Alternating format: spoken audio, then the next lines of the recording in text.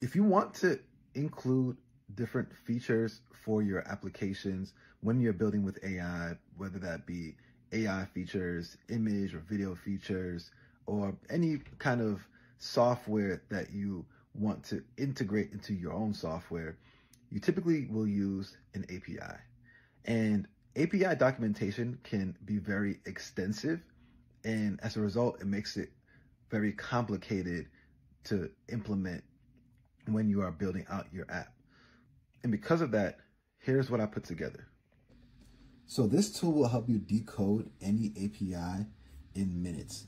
All you have to do is either paste in the text from the uh, API documentation, or you can simply paste a, paste in the URL, and it will, will return different code snippets, an, an overview, uh, use cases for the API, and you can also ask questions if you want more kind of guided help.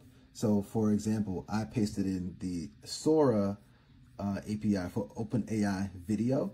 It analyzed it. It gave you this overview of how to get started and the different use cases. And so if I were to ask a question like, um, you know, how would I implement